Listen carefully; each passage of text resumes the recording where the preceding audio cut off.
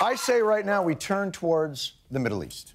Yemen evolves into chaos. Saudi tanks on their way to the border. Iran deploying its warships to the Gulf of Aden. A much larger proxy war between Shiites and Sunnis. Yemen has long been home to Al Qaeda. The Houthi rebels have taken over Sana'a. The U.S. also stepping up airstrikes on ISIS. It's getting very, very complicated.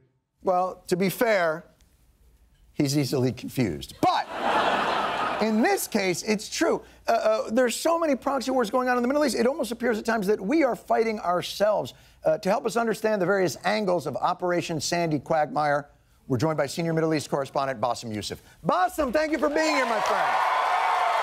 Nice to see you. Great to see you, Bassem. Yeah, yeah, Nice yeah. to see you. Thank you, thank you. Yeah, yeah, yeah. Whatever, Jon, whatever. Yeah, yeah, yeah, yeah. I got to tell you, you seem less than excited uh, uh, to be here. Last time it seemed like you were excited to be here. What's what's up, Bassem? Yeah, Talk nothing. Although I see that while I was away, you picked some other guy to replace you. Trevor Noah, that's right. He's gonna he's gonna replace me on the program when I leave. That's good. It's, So you wanted a handsome young comedian from Africa? Hello? yeah? Yeah? What, what, Jon? Egypt is not African enough for you? oh yeah, Egypt is in Africa. Yeah, Somehow- yeah, yeah, yeah. So, Jon, can you imagine what a beautiful Rolling Stone cover I would have had?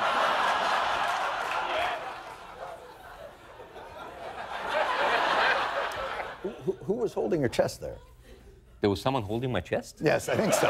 Well, well, anyways, you had some questions about the Middle East. Yes. Yep. Yeah, so as we say where I come from, shoot.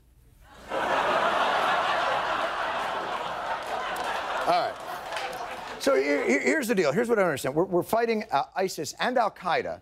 We're trying to keep nukes away from Iran, but now we're somehow involved in a proxy war in Yemen on the side of Iran, but not again. I, here's my question: Who should we worry about? Who's actually coming to kill us? None of them. Get the f- what? Yeah. Say that again. Wait, wait. Let me explain. Okay, I'll start with my country, Egypt. You know it's in Africa. Very good, Jon. Okay, so remember the Muslim Brotherhood? Yes, yes. Uh, guns, beards, uh, Sunni, briefly in charge of uh, Egypt. Yes, until the military threw them out with backing from the Saudis. Well, now the Saudis and the Egyptian army are fighting Shia rebels together in Yemen. And guess who's fighting alongside them? Yes, yes. Uh, it's uh, Chuck Norris. Yes, close. The Muslim Brotherhood in Yemen.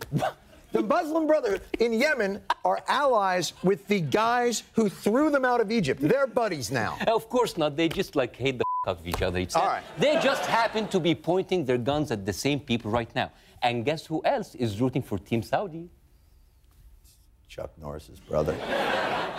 Close. ISIS and Al Qaeda. Those assholes are so happy that Shia are getting killed in Yemen, they're popping their halal champagne. But that. So that's what this is, though. So the way to figure this out is it's the Sunni Shia split. Sunnis always going to have a Sunni brother's back. Yes, Yes. except in Iraq, God! where the Sunni coalition is fighting alongside the Shia militias against ISIS. This is not. Is this some kind of new psychological terrorism where they try to confuse us to death? All right, all right, let me put this in terms you can understand. You know March Madness? Of course, I know March Madness. Good. Consider this constant, intractable madness. Look how many teams have to play against each other. And this is just one division. We're not even to the Elite Eight yet. And America's already in the finals. We're in the finals? Yes! USA! Wait, wait, wait, wait. Wow. They're so. Really? Like warmongers? Talking about getting us in a war. Is it really that easy? All right.